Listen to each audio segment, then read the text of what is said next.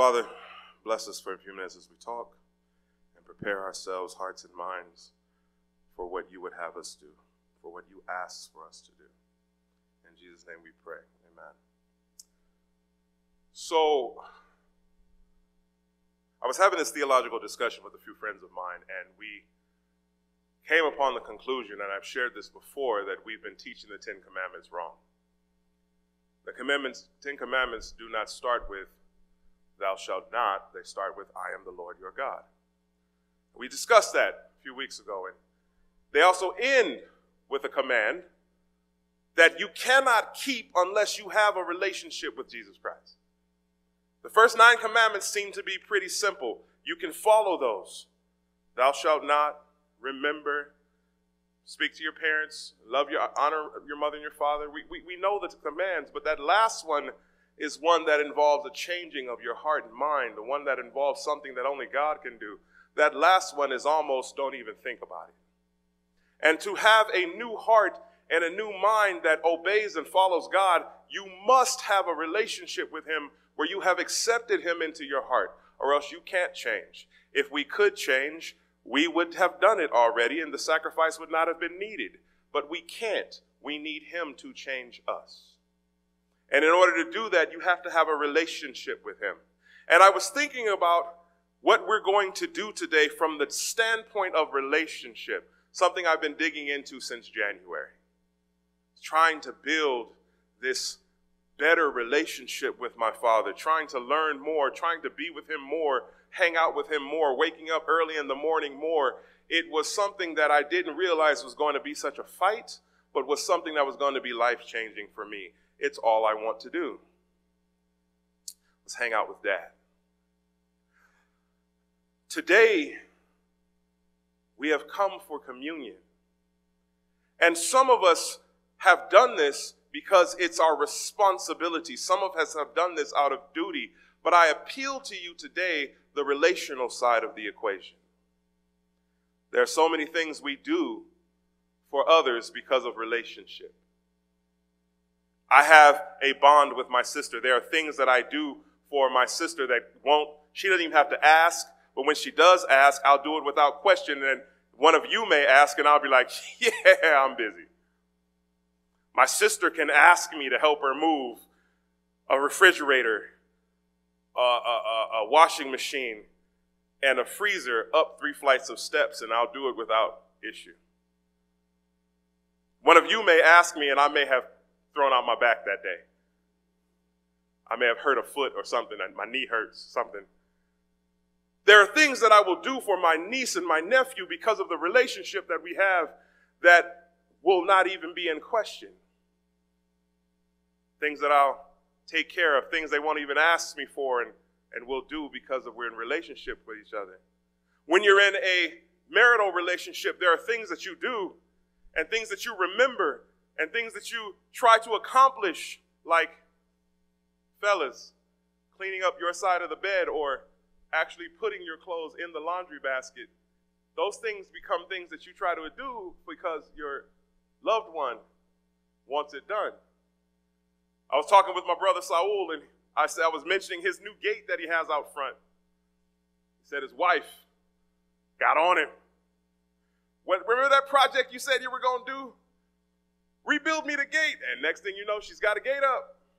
Beautiful one. Well done, sir. Have to talk to you about coming to my house. But we do these things because of the love we have for someone. And I began to think about how much our God loves us.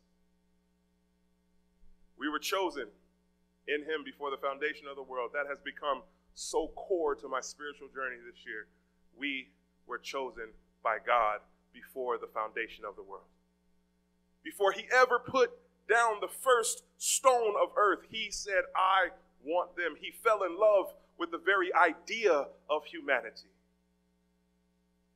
Then he chose us to be what? Holy and blameless before his sight through Jesus Christ. That means that before they ever made us, there was a plan that should we fall into sin, that Jesus had already chosen to do exactly what he did to take off of glory, his glory, to take off his divinity, to come and allow himself to become subject of the very thing he created, the very beings he created, the very rules and laws that he created. And he became born as one of us with a purpose to die for us. He was chased as a baby.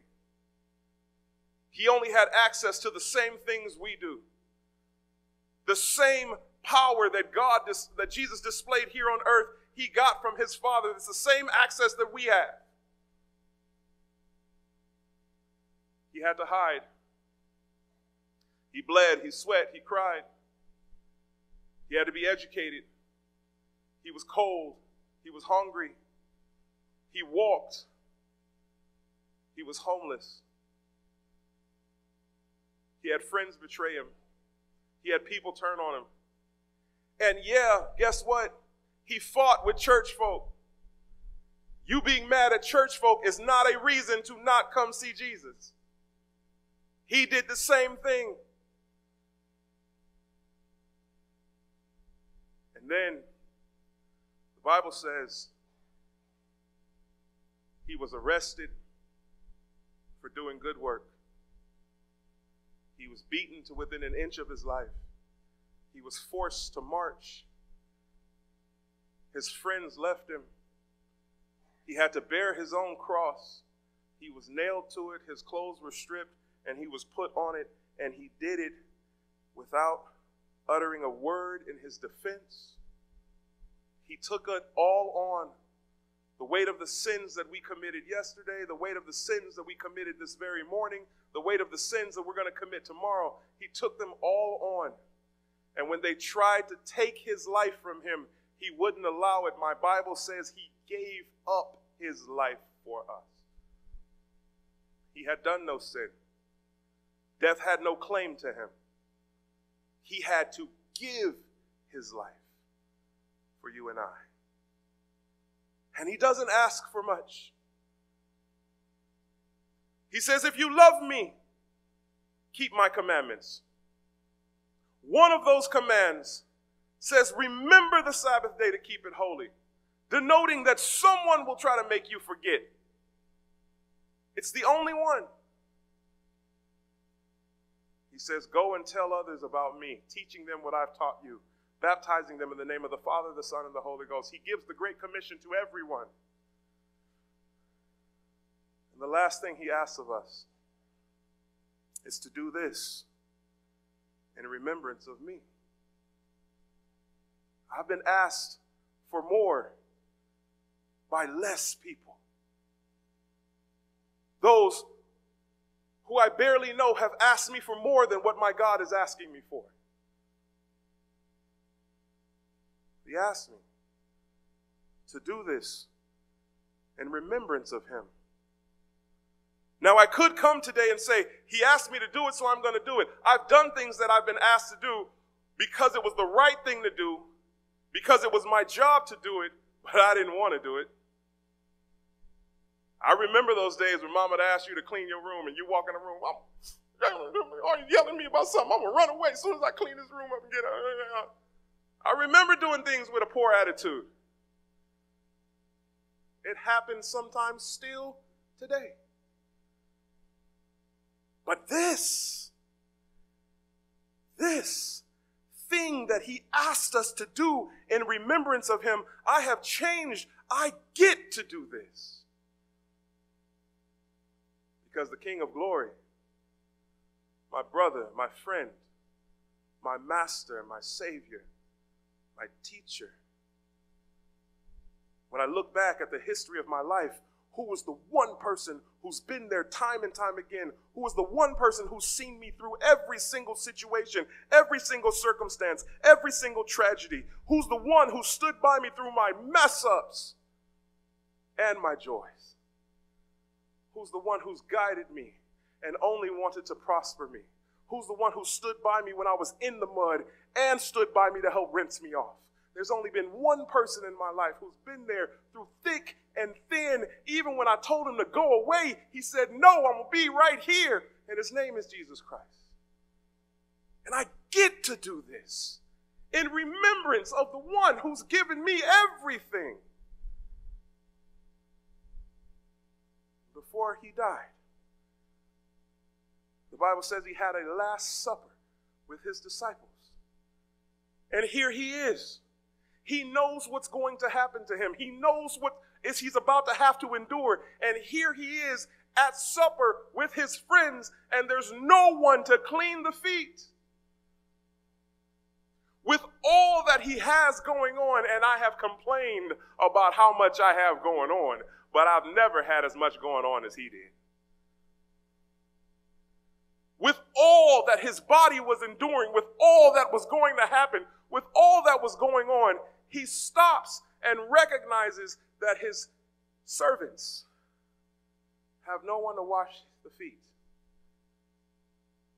And he grabs a bucket and he grabs some towels and he wraps his tunic and he gets some water and he bends down to wash the feet of his creation.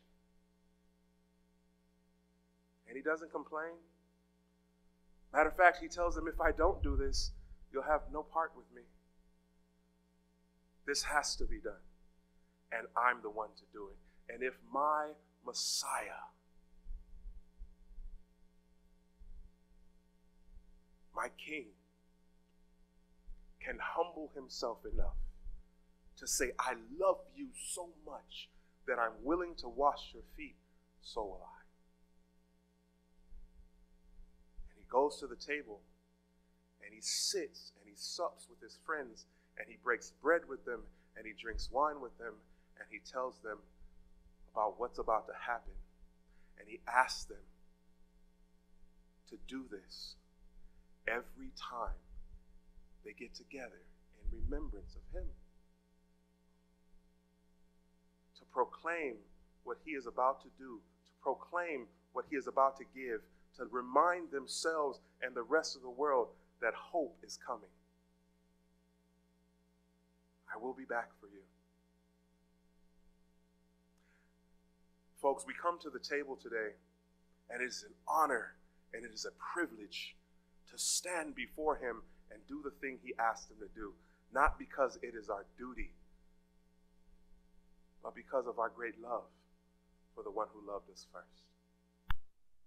There are things that I do for the ones that I love, and this is one of them as we get ready to go and do what's called the ordinance of humility. Preparing our hearts and minds for the body and blood, that emblems that we are going to take in. Please understand, we cannot go into this with an unrepentant, unclean heart.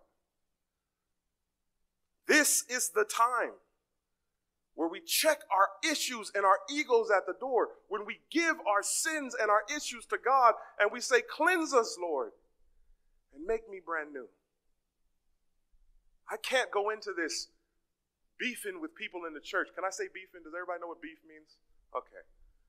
I can't go into this with issues with people in the church. I can't go into this hating someone else who's in the same sinful boat that I'm in.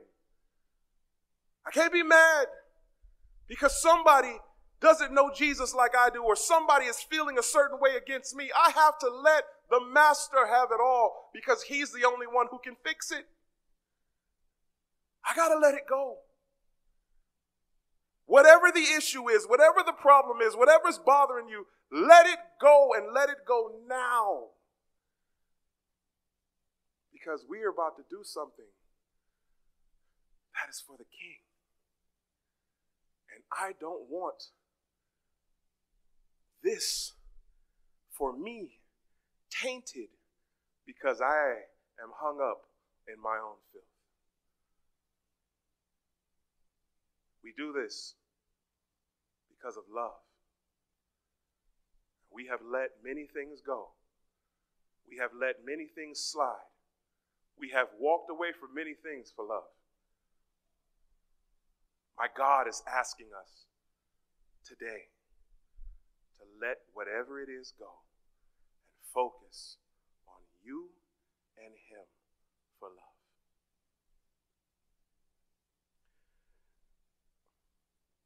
we're going to go into our rooms and prepare to wash feet. There is not one person who's forced to do this. We don't believe in that. We believe in you and God working it out. We invite everyone to join us in the ordinance of humility because it's what Jesus did. And if he can do it, if he did it, so will we. Room one, my right, is for families. Room two is for the men. Room three is for any couples that are here together. And room six is for women. I'm going to repeat that again. Room one is for families, room two is for men, room three is for couples, and room six is for women. The water, am I, am I sitting there right? Okay. It's a little different on the screen. Well, this is what I was handed, so we'll, we'll negate the screen. We'll go with this. Room one for families, room two for men, room three for couples, room six for women. All right? The deacons and deaconess will help you if you get lost.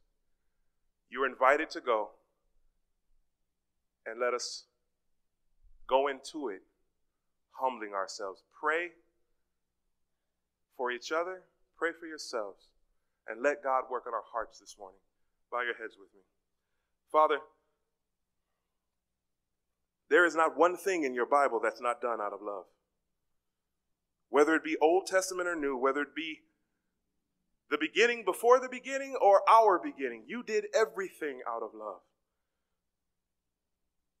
and you gave your life out of love. And you ask us to do this in remembrance of you, not just because of the duty and the honor of being a follower of Christ, but because of our great love for you. We've come here today because of your love for us and our love for you. Lord, bless us as we walk the path that you asked us to. Bless us as we step a foot into your shoes and do as you asked us to do. Forgive us our sins, Father. Open our hearts. Guard our minds. Cleanse us of all unrighteousness. And bless us. Jesus' name we pray. Amen. I'm going to repeat this again. Room one for families, room two for men, room three for couples, room six for women. You are dismissed.